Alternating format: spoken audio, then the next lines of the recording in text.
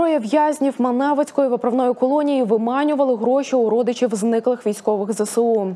Чоловіки телефонували родинам, називалися представниками Міноборони України, Червоного Христа тощо і пропонували за гроші повернути військовослужбовців з полону або поспілкуватися з ними у відео чи аудіоформаті.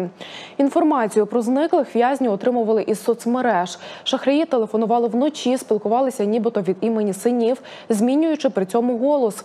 За аудіо чи відеоспілкування чоловіки просили від 8 до 25 тисяч гривень. Викуп з полону 40-120 тисяч. Для перерахування коштів в'язні залучили спільників серед мешканців Луцька, Володимира та селища Локачі.